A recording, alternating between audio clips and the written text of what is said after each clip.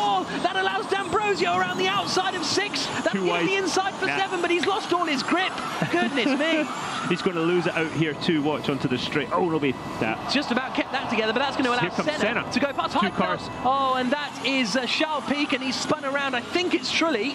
Uh, car number 10 It's it is. Trulli, yes, it is yeah, Jarno Jarno. Trulli. And the car is broken right front suspension. Here we go. Let's see if we can see it. So we got all these shenanigans going on. What? Keep watching further back.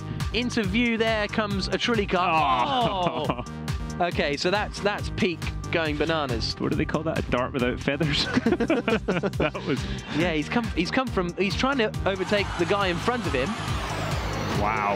and so that's. Uh, yeah, he's, he's tried to overtake Duval, and Duval's gone. Okay, fine. Crash into each other. Will help uh, training instructors in Long Beach. Sorry, Jarno Trulli just grabbed you on the way back to the garage.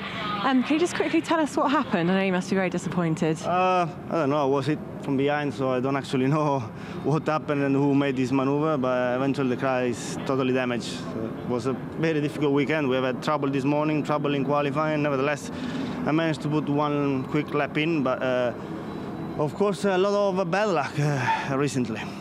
Okay, all right then. Thanks very much. So a very disappointed Jarno Trulli.